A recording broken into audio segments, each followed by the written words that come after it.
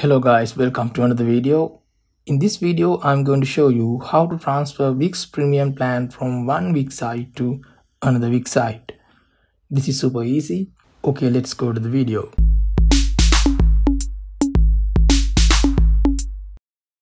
Now I'm on my Wix account.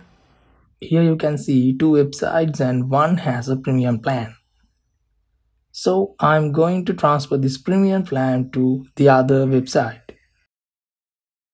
Also here there is an another plus point. When you transfer premium plan, it transfer with connected domain too.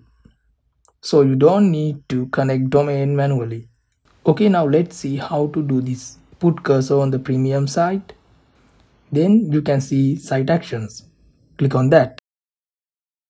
Then here you can see reassign plan on the drop down menu.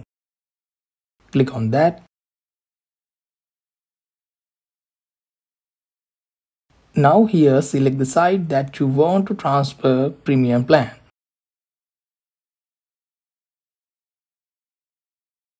Click on next.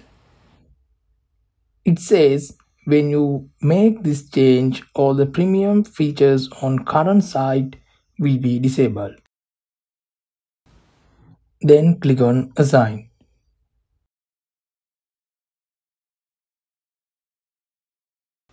Now premium plan has transferred to new site with connected domain. Hope you guys enjoyed the video. Thumbs up and hit the subscribe button.